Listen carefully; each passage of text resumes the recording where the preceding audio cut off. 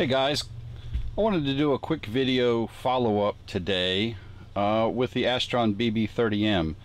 This is the uh, device right here that uh, I did in a previous video and uh, what it's for is to hook up to your power supply for your radio and a battery and it will cut over to battery in case your uh, mains power drops. So uh, when I did the video I kind of just did a review of it. I bought this, I own this I did a review of it, but I didn't hook everything up. And uh, ultimately, this is going to be hooked up in the house on my on my uh, main HF radio set. But I have a test set up here today, and this is laid out so we can kind of see what is actually happening. So right now, uh, I'm on mains power, and I have a battery meter hooked up, and let's see if I can zoom in where we can actually read that and as you can see we're pulling zero amps zero watts out of the battery.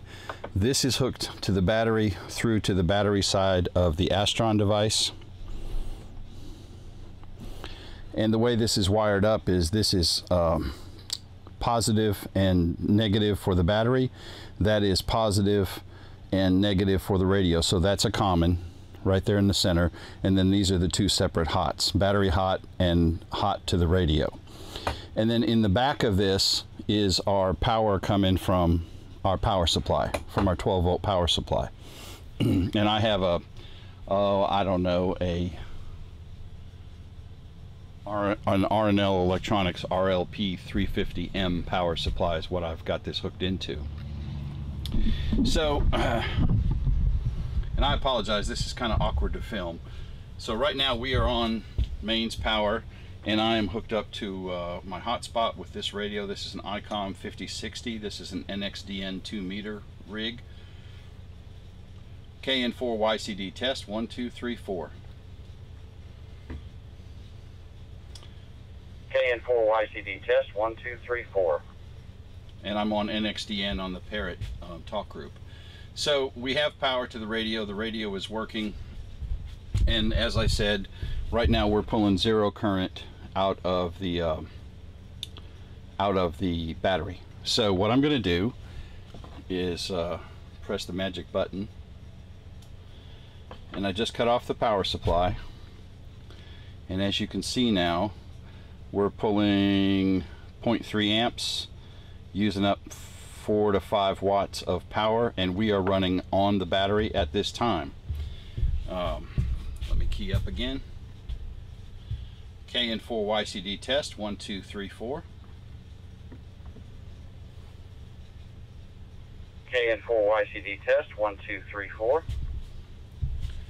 All right, so it works really well. Um, I didn't even see the radio light flicker. The radio did not reboot. Uh, the switchover was immediate. And uh, let me key up one more time so we can see that we're pulling power out of the battery. KN4YCD test 1234 1234 KN4YCD clear. So you see we went up to about 4 4 amps on transmit. KN4YCD test 1234 1234 KN4YCD clear. All right. And so what'll happen now if I swap the mains power back on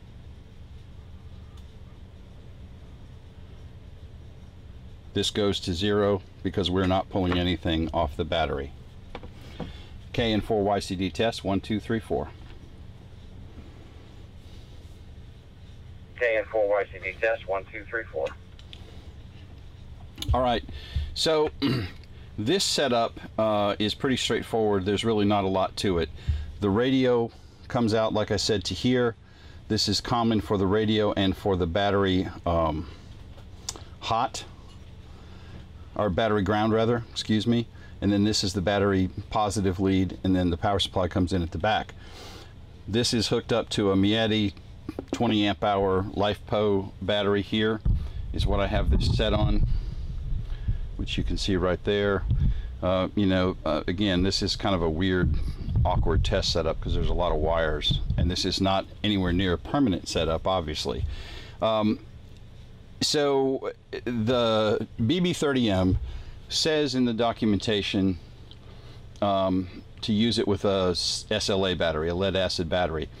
I did some research and I read several articles that said if you have a LiFePO charging system, it will work, or a, excuse me, an SLA charging system, it will work just fine on a LiFePO.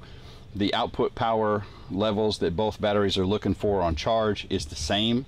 They're within the same range, an SLA and a LiFePO, plus which you have the BMS on the actual battery itself to protect it in case of overcharge, which is not really going to be an issue since we're not putting out more voltage than the LiFePO will take.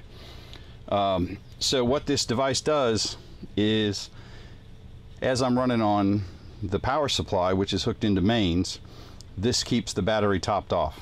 So this 20 amp hour battery is always going to be charged. Uh, then when, obviously when it swaps over, then I'm running off the battery. So you could leave this running pretty much all the time. Now I don't know that I am going to do that. I will probably put a switch on the battery uh, line just to turn it off so it's not always got power charging it. Um, you know, I'll probably turn it on once a week or something, maybe every month, once a month. It is a LiFePO battery, so it's not going to drain down, and I don't necessarily need to keep a 20 amp hour battery charged up all the way.